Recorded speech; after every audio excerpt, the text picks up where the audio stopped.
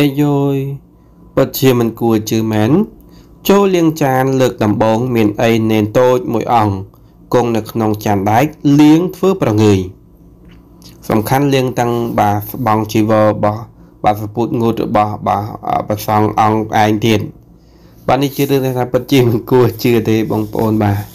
តែប្រសងឬក៏នេនតូចបាទធ្វើរឿងនេះទៅកើត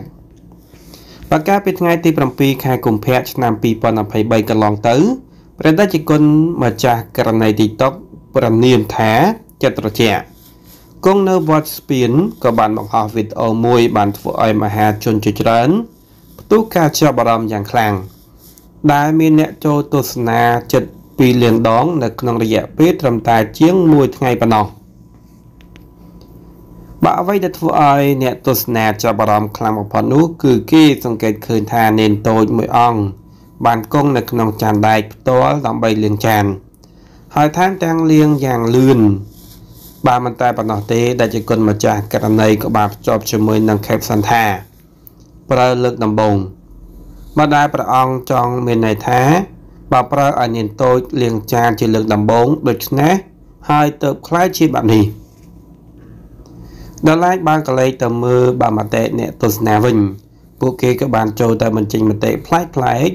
លេឡំជាមួយនឹងភាពអស់សំណើជាច្រើនថាបាក់កម្ពុជាអ្នកលៀងចាននៅក្នុងពិភពលោកបើសោចខ្លាំងនៅក្នុងចិត្តក៏បាបដែរ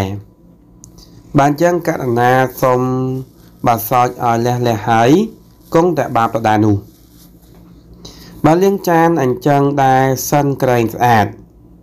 បើខំទុក កុំឲ្យសោចខ្លាចបាបលេងគង់នៅក្នុងចានដែកយ៉ាងហ្មង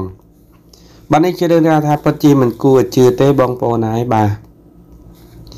តែនាងតូចមួយអង្គលាងចាន បាទលាងចានមិនត្រឹមលាងចានទេចូលខ្លួនឯងអង្គុយនៅក្នុងចានដែកលាងចានជាមួយតែម្ដងបាទហើយចំពោះព័ត៌មាននេះដែរគឺមានតែប៉ុណ្ណេះទេបាទសូមអរគុណសូមជម្រាបលា